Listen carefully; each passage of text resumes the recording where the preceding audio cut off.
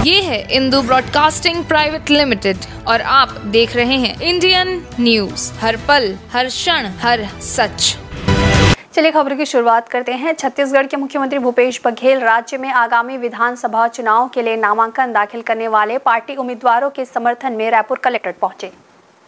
रायपुर ज़िले में आज कांग्रेस के सात प्रत्याशियों ने नामांकन दाखिल किया है। आपको बता दें कि कांग्रेस उम्मीदवार कुलदीप जुनेजा और पंकज शर्मा, शिव डहरिया, विकास उपाध्याय ने नामांकन भरा। वहीं मंत राम सुंदर दास ने भी नामांकन भरा। कांग्रेस के किसान ऋण माफ़ी के चुनावी वादे पर असम के सीएम ने बयान पर प्रतिक्रिया देते हुए मुख्यमंत्री भूपेश बघेल ने कहा कि उन्हें पहले यह बताना चाहिए कि उनकी पत्नी को सरकार से सब्सिडीज के रूप में 10 करोड़ रुपए कैसे मिले।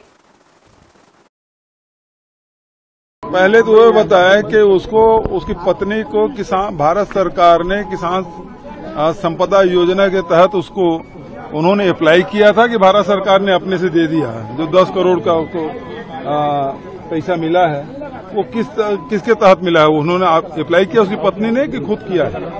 न्यू वीडियोस की अपडेट पाने के लिए सब्सक्राइब करें इंडियन न्यूज़ को और बेल आइकन को दबाएँ।